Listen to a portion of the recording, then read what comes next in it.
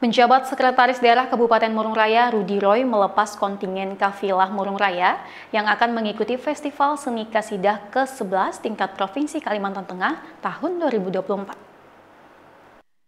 Kegiatan pelepasan yang dilaksanakan di Aula Kantor Kementerian Agama Murung Raya ini dihadiri segenap unsur Forkopimda Kabupaten Murung Raya dan tamu undangan lainnya.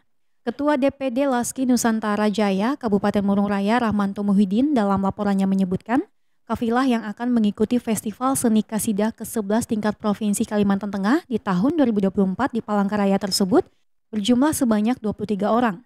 Mereka akan mengikuti sejumlah cabang yang diperlombakan di antaranya lomba bintang vokalis anak-anak dan remaja, serta dewasa putra dan putri, lomba rebana klasik tingkat remaja putra, dan cabang lomba lainnya.